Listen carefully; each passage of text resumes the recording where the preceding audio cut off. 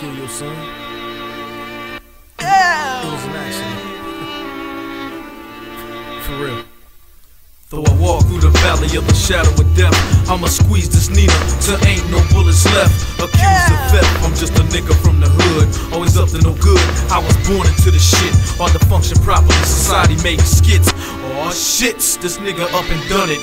Tried to play me for a hundred blue pills, now I'm wanted. I pistol whip that ass, ran away with the cash. Now all I'm about, dog, is walking on broken glass. That nigga bootylicious, straight faggot, not me.